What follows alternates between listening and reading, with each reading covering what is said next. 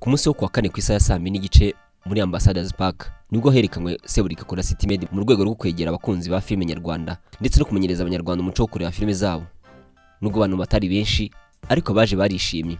Bamwe mu bakunzi ba sinema nyarwanda bavuga ko kuba harabayeho iki gitekerezo cyo kwegera abakunzi ba filime nyarwanda ari iby'agaciro kuko biboneye imbona nkubone ni bamwe mu bakinnyi bakina muri izo filime bose. Ah, kuri evode nishimye cyane kuko kubona umuntu nka seburikoko rurinda ubabona kuri televiziyo. Uyu munsi nkaba ndi kubabona hano muri ambasadozi ni ibintu byiza cyane.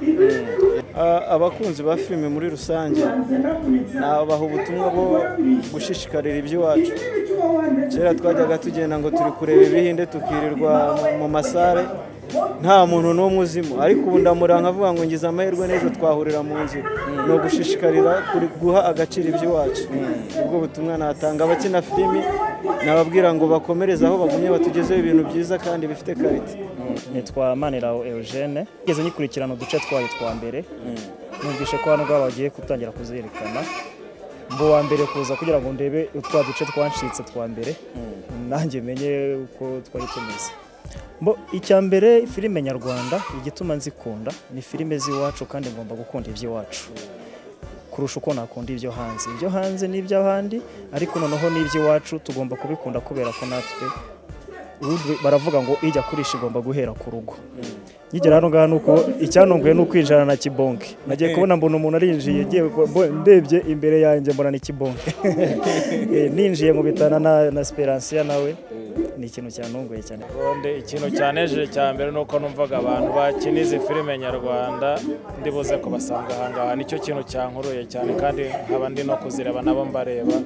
Ndi gusangira n'agacupa na bagenzi banjye aha ngaha ubundi numvaga uko bari buze bari buze. Ari nk'abantu bo mu giturage ari abantu bambaye biriya bikoti bitameshe cyangwa se ari abantu nyine ubona bari bagaragara nk'abantu baba mu cyaro cyangwa bari bagaragara nk'abantu bari kuviva ubuzima bwo mu cyaro. Ariko nasanze ari abasirimu barenze abandi bose bari ngaha uwamahoro antoinette wamenyekanye nka esperansiya ndetse na kibonge ni bamwe mu bari bitabiriye iyerekanwa rya filime nyarwanda. No basanga atari ngombwa gukora ugatera iyo ngiyo gusa. Ahubwo ari byiza ko bakwegera abafana babo. Twebwe ni ibintu bikomeye cyane kubera ko ni ukuvuga ngo tuba twahaye agaciro umurimo dukora natwe tukabona ko hari abaha agaciro wa murimo dukora. Buriya rero turuzuzanya. Ndagushimisha nanjye ukanshimisha kubera ko wampaye agaciro nanjye nkaguha agaciro kubera ko uri umufana wanjye. Ah, ni ibintu byiza mbere y'uko mbishishikariza abanyarwanda kuza muri screening za filime z'abanyarwanda. Ni uko nanjye ubwanjye nk'umukinnyi wa filime z'abanyarwanda ngomba kubanza nkagaragaza ubwitabire. Apana gukora ibintu twarangiza tugashishikariza abantu kuza kubireba twe twibereye mu mazu yacu cyangwa hehe tugomba gushyigikirwa natwe turimo turakora uko bishoboye kugira ngo ah, dukundishe abanyarwanda filime. Bagire uwo muco wo gukunda filime. Nzatunga emmanuel ni nyiri ambassadors park. Ati filime zirimo inyigisho nyinshi. Niyo mpamvu twateguye umunsi w'igicumbi nyarwanda wo kuwa kane.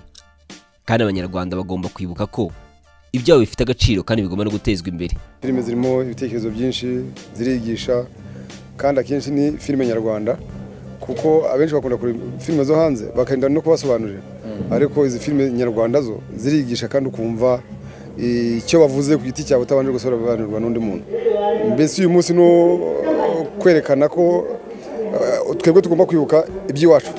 Tugomba kumenya umuco nyarwanda. Njye nta wundi musaruro nateganyaga. Nateganyaga kubona abantu gusa bakaza bakishimira eh, filime nyarwanda.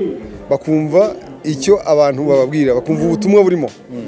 Misago wilson bakunze kwita Nelly ni umwanditsi akaba n'umuhimbyi wa seburika kona city med avuga ko kuba begera abakunzi ba filime nyarwanda bagamije gukundisha abanyarwanda ibintu byabo. Ndetse no kwihesha agaciro. Ah, ibi rero bijyanye na gahunda twari dufite kera yo kuba tujya gutangira ino seri gahunda twari dufite yari yuko dukundisha abanyarwanda ibintu byabo dukundisha abanyarwanda kontenti zabo filime zabo. Twamaze gusa nkaho tubigera ko abantu babikunda ariko noneho turavuga reka dushake umunsi tugera noneho twicara niturangiza tu- turebe filime abantu batandukanye baze tuganire ah, bahure n'abakinnyi bahure natwe ba producer abashaka gukina abantu benshi bamuhamagara bashaka gukina bajya gute. Mbere tugire iyo konegisiyo kugira ngo dukomere duku- dukundishe abantu ibyabo. Ah, ni gahunda izakomeza kwerekana Serukoko City n'izindi filime buriya ntabwo ari zino tuzatwerekana zonyine tuba tugenda tuvangamo n'izindi filime z'abanyarwanda. Kuko ikintu dushaka ni uko abanyarwanda babona ko hari abantu benshi bafite content kandi nziza zacu ziri muri sori zacu z'inyarwanda ziri mu mu nkuru z'umwimerere za kinyarwanda aba- abantu bazakomeza nyine ku- kugenda bagira ba- barebamo ikintu cyashimishije kurusha ibindi ni uko nyine abantu baje bishimye. Bivuze ko abazaza ubutaha bazishima kurushaho. Nk'umukinnyi cyangwa se wa muntu ukeneye gukina cyangwa se wa muntu ukeneye kuba umuseniyasite ukomeye ni cyo wamubwira? Icyo namubwira ni uko icya mbere ni ukuba ubikunze icya kabiri ni ukubyiga uramutse ubonye ahantu byiga icya gatatu ni ukwitabira za kasitingi zitandukanye kugira ngo uze uzabashe nugera uzabashe kubona amahirwe yo gukina. Ni icyo ngicyo. Nubwo abantu batari benshi byari ku nshuro ya mbere bitanga icyizere ko abanyarwanda bazagenda babimenyera.